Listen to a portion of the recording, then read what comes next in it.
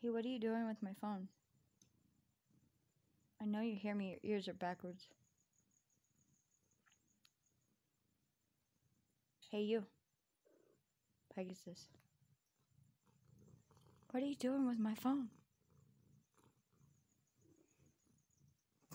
Laying on it? Did I scare you? Look, you're all trying to share stuff. Look, he's all trying to share stuff. No, Pegasus, we don't share stuff. Not everything. Well, okay, so we should share everything because conscious is already open and basically that I came to this awareness which kind of um so when you become aware um